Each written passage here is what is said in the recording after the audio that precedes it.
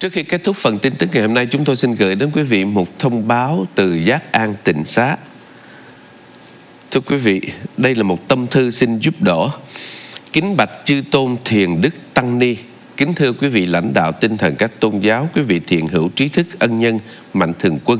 quý vị lãnh đạo cộng đồng, hội đoàn, đoàn thể, quý cơ quan truyền thông cùng đồng hương Phật tử – được sự quan tâm giám đốc trung tâm Thúy Nga, cô Marie Tô Ngọc Thủy, các anh chị và các cô chú ca sĩ, chị Annie và bạn bè chung tay để giúp cho Giác An Tịnh Xá tổ chức buổi tiệc chay gây quỹ diễn ra vào ngày Chủ nhật 8 tháng 9 năm 2024 tại QD Venue 7722 Garden Grove Boulevard, Westminster, California 92683.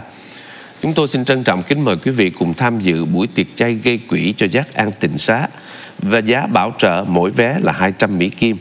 Giá vé dành cho các VIP mỗi vé 150 Mỹ Kim và giá vé đồng hạng mỗi vé 85 Mỹ Kim. Xin quý vị vui lòng ủng hộ để mua vé về các số điện thoại Giác An Tịnh Xá, số điện thoại 714 494 9390 714 494 9390 kính mong quý vị quý rủ lòng thương vì tương lai thế hệ con cháu chúng ta biết được tiếng Việt là linh hồn của dân tộc, đồng thời giữ gìn văn hóa tổ tiên Lạc Hồng. Hơn thế nữa để giúp đỡ cho công trình xây dựng lớp Việt ngữ tại tỉnh xá Giác An sớm hoàn tất. Và đây chính là sự ủng hộ buổi tiệc cây quỹ được viên mãn. Nam Mô Hoan Hỷ Tạng Bồ Tát Ma Ha Tát Thành kính tri ân nhiệt tình của quý vị trụ trì Giác An tỉnh xá Tỳ Kheo Giác Châu